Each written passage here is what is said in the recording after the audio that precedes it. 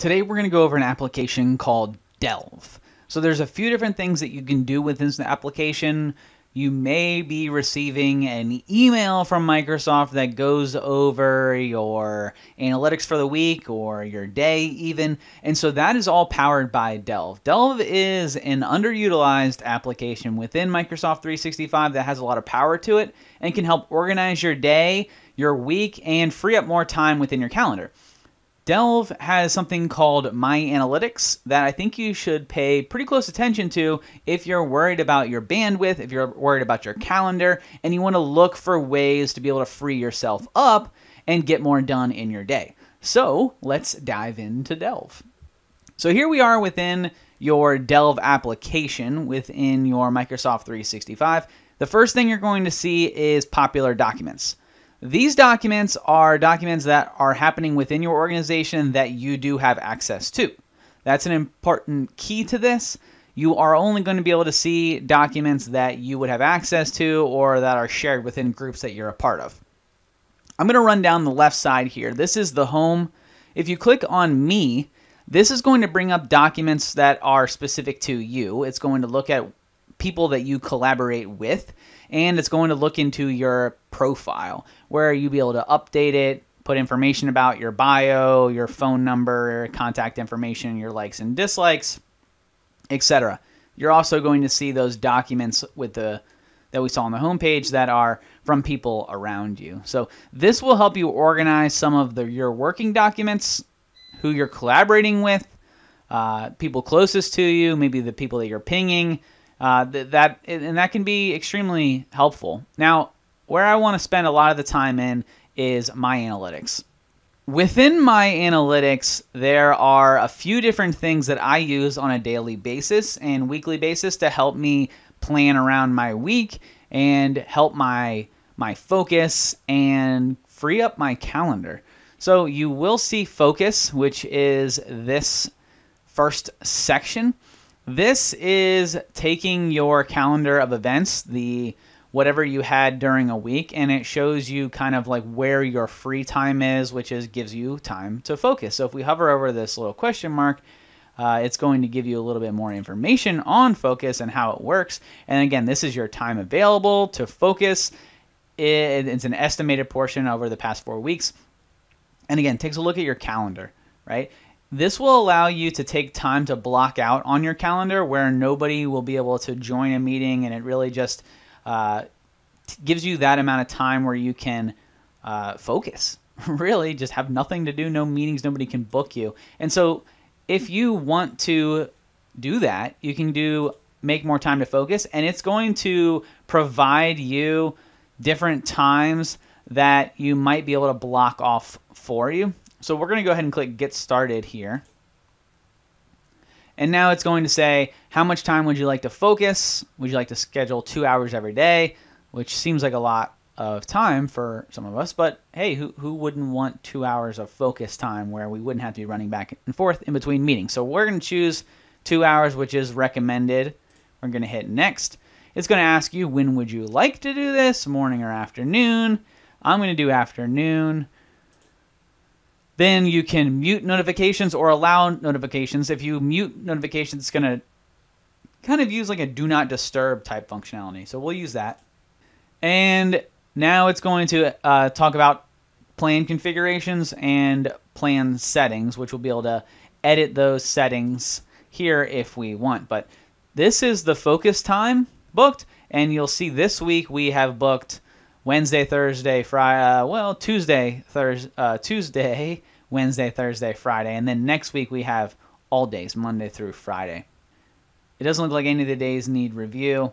And so now on our calendar, we should be able to see that two hours are booked. We're going to go into plan configuration, and now we're going to look at our working hours. So this is where you can set exactly what our afternoons look at look like. Um, whether your working hours, maybe you start earlier. Some people do have different working hours. Maybe you're starting your day at six. Well, you can set that here and you would be able to choose whenever it is that you actually start your day and then you can save your changes and it'll update your focus plan that you're creating. And then you could change you maybe maybe 2 hours is just too much and you're missing too much. Maybe you want to drop it down, you can go to 1 or you can increase it to 4. You can also change to say, you know what? Maybe focus will be better done in the morning. You can change that then.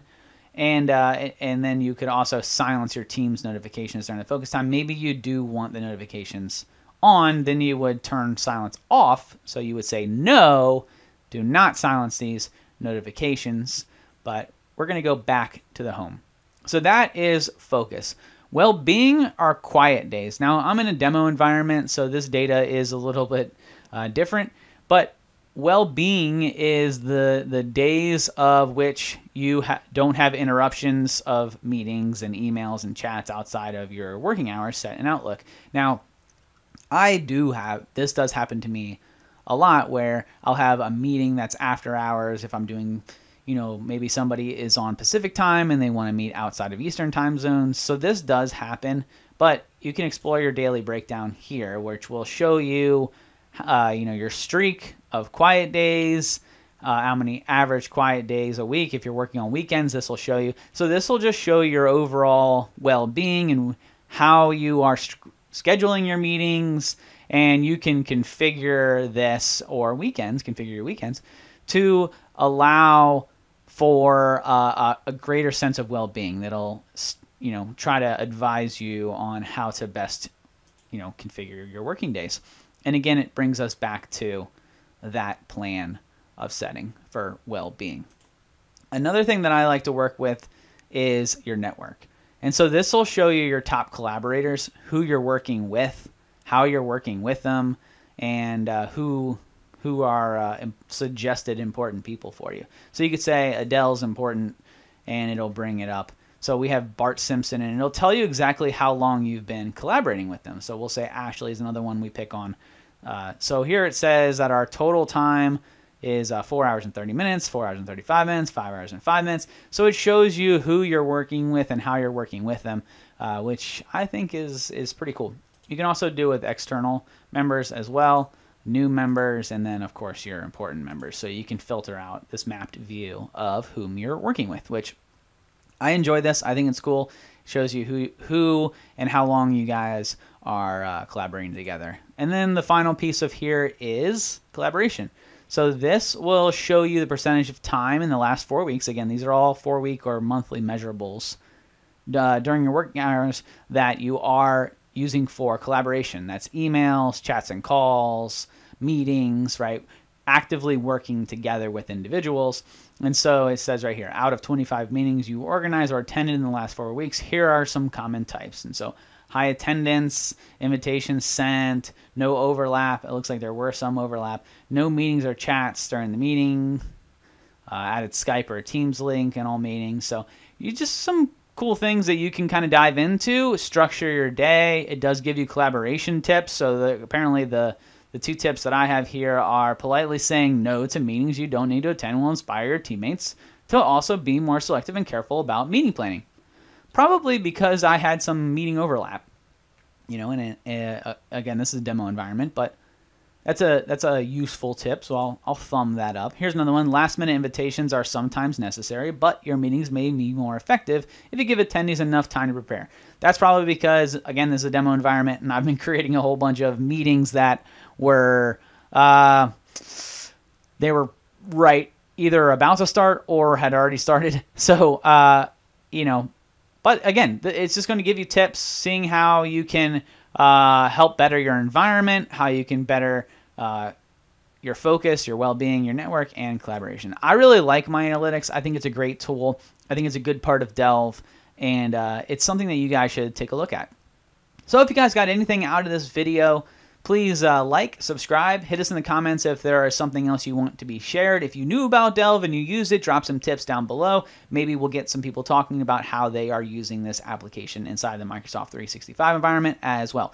As always, guys, thanks for watching, and until next time, see you.